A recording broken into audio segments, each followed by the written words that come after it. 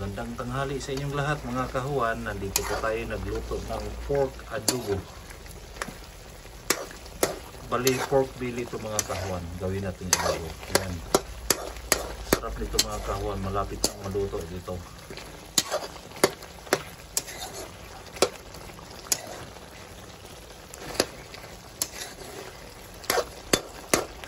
Mm, bango mga kahuan. Oh, may dahon ng laurel.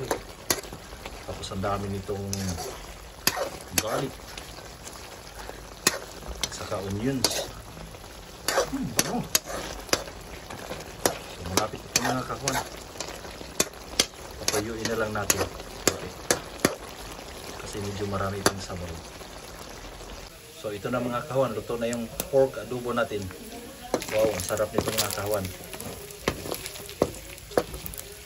Mukhang madami yata yung makain natin ito.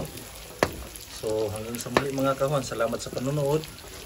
Please don't forget to subscribe, like, and share. And see you in my next vlog mga kahuan.